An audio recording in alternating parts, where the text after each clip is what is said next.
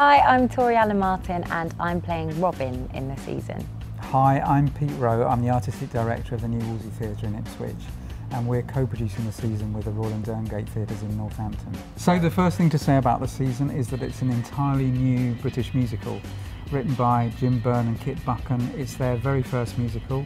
They're two extremely talented songwriters, but this is the first full-length musical that they've ever written. It's a rom-com about these two characters who are both kind of misfits. One a young British nerdy guy and then he gets invited to his dad's wedding in New York and that's the first time that he meets Tori's character. She's uh, a New Yorker, she's a bit cynical, um, it's Christmas time and she hates Christmas. She's not really sure where she's going in life and I think it's very relatable. I've definitely felt that. And her sister is getting married and she has to go and pick up this geeky guy and it's just the sort of chaos that ensues over the next couple of days and how accidentally they kind of help each other find each other. And like any rom-com, you're kind of willing them to get together, to be together, but they come from such different places. It's that nice sort of bittersweet, it's funny, it's touching, you, you get all the feels and I think you want that when you come to the theatre, you really go on the journey with them. I think the songs are fantastic. They're very witty and they're very clever and they're very memorable. You will be humming at least two or three of the songs non-stop probably for the next two weeks, but that's a good thing because they're great. And I first saw this show at the showcase of a short section of it that Tori did and I fell in love with it then and that we were only looking about 25 minutes worth.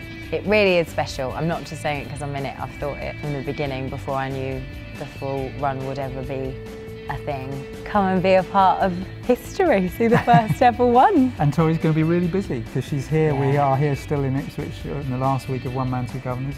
Next week we go down to Southampton um, with the show and in the second week of the performances down there, Tori starts rehearsing um, the season. So she's going to have a very busy time. I don't think I'll know who I am. in Arden in the day and then a New Yorker in the, in the, yeah, all over the place, but I can't wait.